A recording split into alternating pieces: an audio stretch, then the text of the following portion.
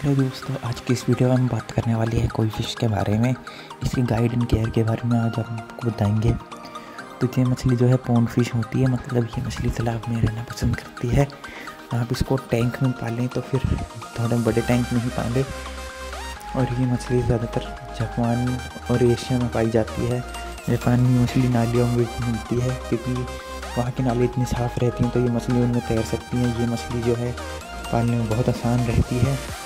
जो मेल मछली होती है, वो फीमेल के मुकाबले थोड़ी छोटी होती है और जो फीमेल होती है, वो मेल के मुकाबले में बड़ी होती है साइज़ में और जो सुंदर होता है, वो मेल ज़्यादा होता है।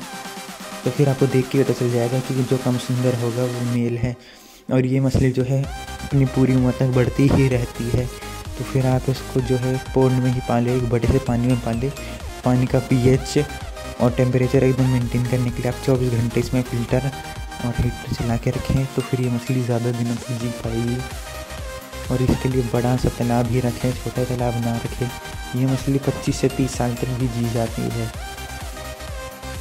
और इस मछली के दांत नहीं होते हैं, और कोई फ़िश जो है ग्रुप फ़िश है तो आप इसको ग्रुप में रखेंगे तो ज़्यादा अच्छा रहेगा। अगर अकेली रखोगे तो मर जाएगी बेचारी।